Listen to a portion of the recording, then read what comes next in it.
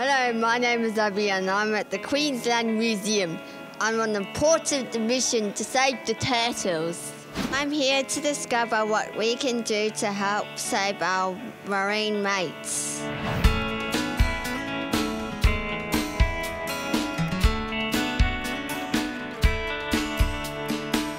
Now, this is a big mission, so we've called in a big name in the biz. Meet Patrick Couper, aka the turtle expert. He has an amazing display here for the World Science Festival, which will help us and our mission. Patrick, where do turtles come from? Well, these turtles come from Mon Repos. Have you heard of Mon Repos? It's a beach up near Bundaberg. Ooh! And Mon Repos's uh, where scientists have been monitoring turtles for 50 years. Wow! In Finding Nemo, there are two turtles called Crush and Squirt. Do the turtles really like the EAC? Is it really true they do? Yep. Do you know what the EAC stands for? East Australian Current! That's right, and they do do it. So these little loggerheads, when they hatch at Mon Repos, they run down the beach, they swim about 80 kilometres offshore, and they get picked up by the Eastern Australian Current. Wow. That takes them down the Eastern Australian coast, past the tip of New Zealand, and over to the coast of South America. Oh my goodness! Do they go to California? No, they don't go to California. But once they're over in the coast of South America off Chile and Peru, they stay there before they get back to Australia. It's about 16 years. And when 16 yeah, years? Yeah. That's two years of my age. And, and, and when, when they get back here, it's another 14 years before they're big enough to start going and breeding at the nesting beaches. Oh my goodness, that is amazing! What did the turtles eat? Well, when they're little like this, they ride on the surface of the ocean currents and they're eating anything they encounter. So they're eating little invertebrates, little things like uh, larval fish, um, small squid, any insects that fall out of the atmosphere. Yeah. But, but while they're doing that, that makes them very vulnerable to eating plastics in the ocean too because they Yeah. pick up little floating objects. Yes. And when they grow to adults, they're eating things like big crustaceans, so crayfish, crabs, and they eat mollusks, so shellfish.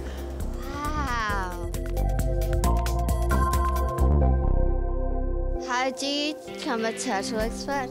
Well, I'm not really a turtle expert. I, I sort of am. I, I work here as senior curator of reptiles at the museum, and uh, my knowledge of turtles comes from working closely with Colin Limpus, who runs the turtle project within the Department of Environment and Science. So I've done studies on nesting beaches. I've helped him catch turtles in Moreton Bay.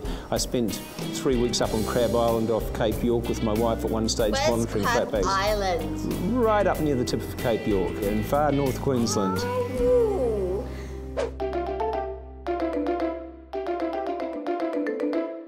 What's happening in these boxes? Well, these are our transparent incubators, and we put the eggs in there so the public, when they come through, can see the turtles hatching. So normally this happens at the bottom of a nest chamber, 60 centimetres below the sand, and nobody can see what's going on. So we do this where people can actually watch the whole process. What is an incubator? An incubator is a container with a controlled temperature, so we try and keep these temperatures around 29 degrees because that's a suitable temperature to hatch the eggs out. How long does it take for them to hatch? It depends a bit on the temperature, so cooler temperatures take longer, but the first of these eggs started hatching after 50 days incubation. Oh, I love it when I see baby animals like these. Yeah, well, little turtles are really cute. Everybody loves these little turtles. Yeah. Are any of these guys ready for a swim? They may be. Why, would you like to put a turtle in a tank for its first swim? I think that is, sounds wonderful. When you hold it, hold it like that and just put your finger gently on top. Can you do that? So hand out flat and just put your finger gently on top, not too hard, gently, and just bring it up. And if you just put it over there and drop it in, yeah, there you go. Yes! How's that? He's was enjoying that, isn't he?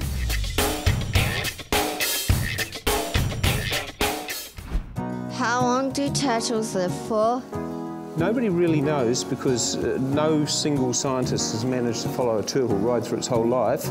But we know the turtles that are nesting at the beaches up at Mon Repos start nesting when they're about 30 years old and some of those turtles they've been following for 40 years. So we know that at 70 years of age, those turtles are still laying eggs, those eggs are still hatching, and the feeling is that turtles probably go to about 80 years of age. They probably don't make it to 100. Oh,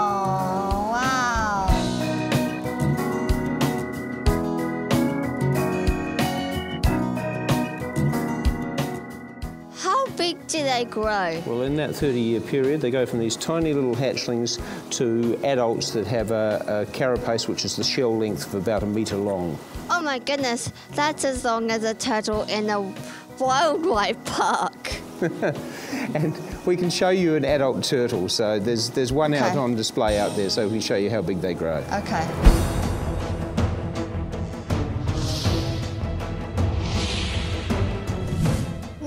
This is the biggest turtle I've ever seen. Well, that's a loggerhead turtle, Abby. That's um, the same sort as you're looking at with the little babies before. and, and that one would be about 30 years old, but they do get a bit bigger than that. And at that size, it's ready to start laying eggs. How many species of turtle are there? There are seven species of, of marine turtles in the world, and we have six of those here in Australia. I want to know what type of turtles are crush and squirt. Crush and Squirt from Finding Finding, Nemo, Nemo. I, they were green turtles. Green turtles? Yes. Wow. Did you see what I did? You so totally rock, Squirt! So give me some fin. Noggin. Dude. These turtles have a big journey ahead of us. What can we do to help them? Well, there's so many things we can do to help turtles, especially when they're little. You know, things like driving on nesting beaches with four-wheel drives isn't a good idea. Turtles get either run over or, or stuck in uh, wheel tracks. If you live near the beach, you can uh, be sensitive about the lighting. The little turtles find their way to the sea because the horizon over the sea is lighter than that on the land. So if we've got street lights and house lights in behind the dune, some of those turtles wander inland. But one of the major problems the turtles have now, particularly the little turtles, is with plastics in the ocean. Plastics are really bad and plastics are everywhere. So to show this, I went out and started collecting plastics. So this case shows plastics that are washing up on beaches. Some of these are from Queensland, there's some from New South Wales. I've got samples from Florida. Um, that little piece there, somebody collected for me from South America and the plastic gets really bad when it starts to break down. So these hard plastics, when they break down in the sunlight and in the ocean, they're the sort of things those little turtles eat. And we're finding a lots of little turtles have plastic in their guts now. Oh, that's sad.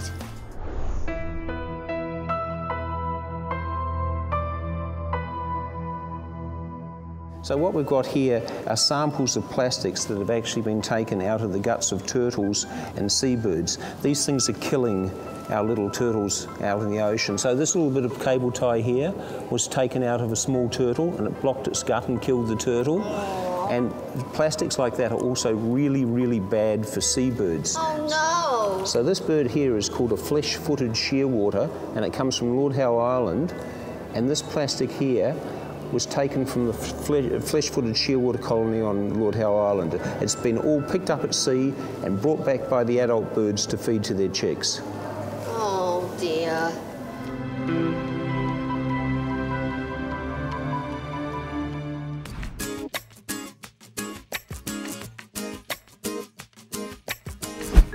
Patrick, what do you have here? Well, these are the winners in an art competition we had. We had a competition called uh, Hatchery Crusaders, and kids at various schools made uh, turtle artworks. So that's something else you can do, Abby. You can reuse plastics and uh, be creative with them. So instead of throwing them out, you can make wonderful artworks like this. And you know, you, you might like to make one at home that your parents can hang on the wall and uh, decorate the house. What do you think? Good. And it's good if you do it with plastics you pick up out of the environment. So if you go to a beach and get a hold of litter off the beach and make some nice artwork out of it.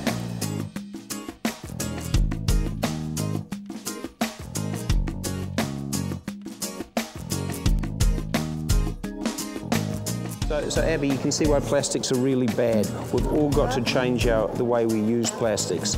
We've got to think about recycling. We've got to think about saying no to plastic if you don't need it. If you're buying things in shops and they've got heaps and heaps of wrapping, try and avoid it.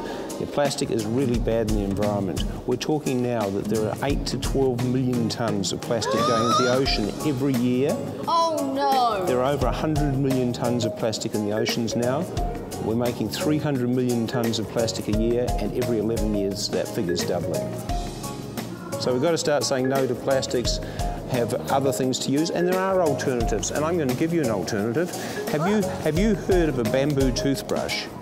Have you got a bamboo toothbrush? No. No, well this is just like a normal toothbrush, but it's made out of bamboo, so you avoid having a plastic toothbrush, and I'm going to give that to you, and you can try using that. Now, it's a bit funny when you first use it because it's sort of like putting a bit of wood in your mouth, but you get used to it very quickly, and it does a very good job of cleaning teeth.